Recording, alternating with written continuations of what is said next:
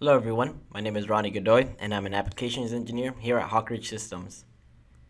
In today's short video, we're going to take a look at a new enhancement in 2018.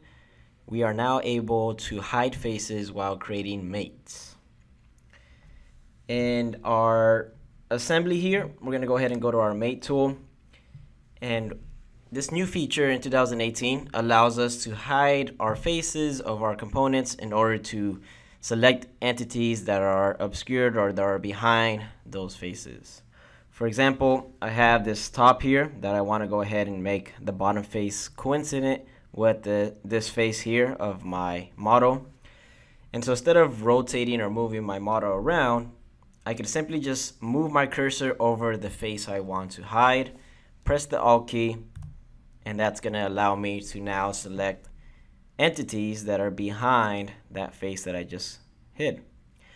So now I have the ability, you'll see that I can select that bottom face there, and then I can select this face here to accomplish that coincident relationship that I'm looking for.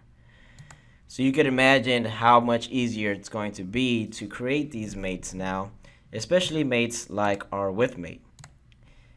Instead of struggling with selecting the outer boundaries and inner boundaries of this width mate, I can now hide these faces. So select my outer boundaries here, press move my cursor over this face, press the Alt key to hide it, and then select that face there.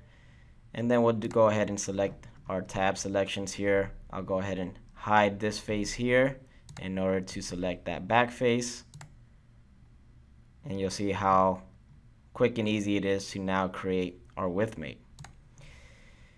Now, not only do we have the option of hiding these faces, but I could also take it a step further.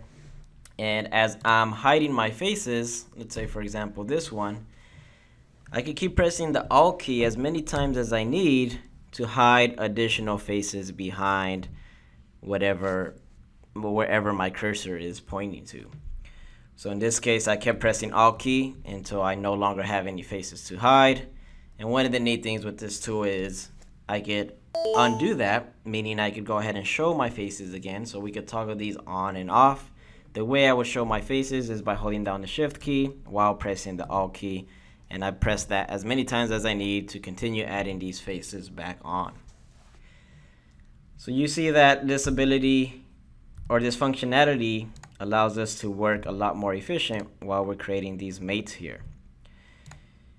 Now this capability is not only available when we create a new mate, but it's also available when we edit our mates.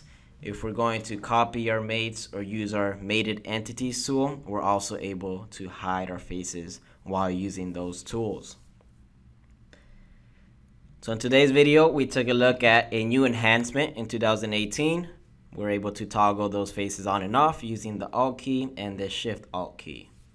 If you enjoyed this video, make sure you take you take a look at our YouTube channel and subscribe to it. Ch check a look at our blog and make sure you like this video down below.